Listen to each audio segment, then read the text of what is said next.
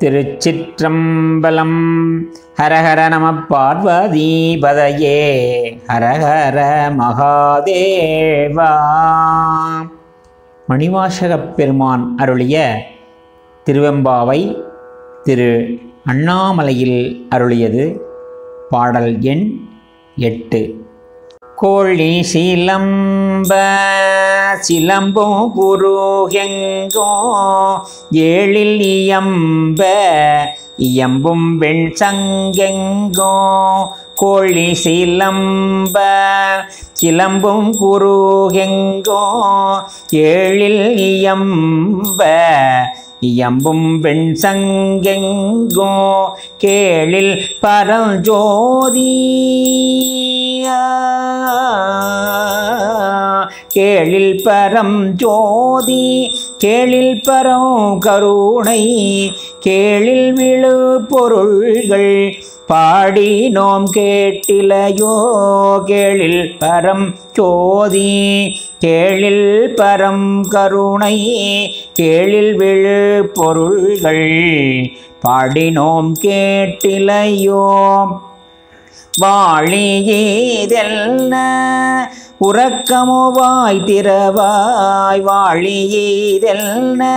உறக்கமுவாய் திறவாய் ஆழியானல் புடைமை ஆமாறும் யுவாரோ ஒளி முதல்வனாய் நின்ற ஒருவனை ஒளி முதல்வனாய் நின்ற ஒருவனை ஏழை பங்காளனையே பாடேலோர் எம்பாவாய். ஏழை பங்காளனையே பாடேலோர் எம்பாவாய்.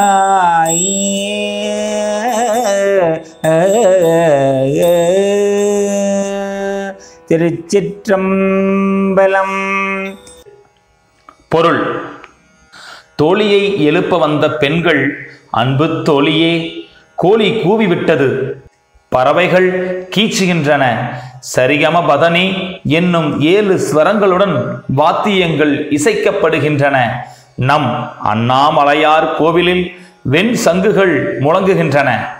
இந்த இனிய வேளையில் உலக இருள் எப்படி நீங்குகிறதோ அதுபோல் பரஞ்சோதியாய் ஒளி வீசும் சிவனை பற்றி நாங்கள் பேசுகிறோம். அவனது பெரும் கருணையை எண்ணி வியக்கின்றோம். அவனது சிறப்புகளை பாடுகின்றோம். ஆனால் நீயோ எதுவும் காதில் விழாமல் தூங்குகிறாய். இந்த உறக்கத்திற்கு சொந்தமானவளே இன்னும் பேச மாட்டேன் என்கிறாயே. வாழ்க நீ. பாட்கடலில் பள்ளி கொண்டுள்ள திருமாலின் சிவபக்தியை பற்றி தெரியுமல்லவா? அவர் வராக வடிவமெடுத்து சிவனின் திருவடி காணச் சென்றவர். அப்படிப்பட்ட பெருமையுடைய உலகத்திற்கே தலைவனான சிவனை ஏழைகளின் தோழனை பாடி மகிழ உடனே புறப்படு. விளக்கம். இறைவன் மனிதர்களின் உள்ள இருளை போக்குபவர்.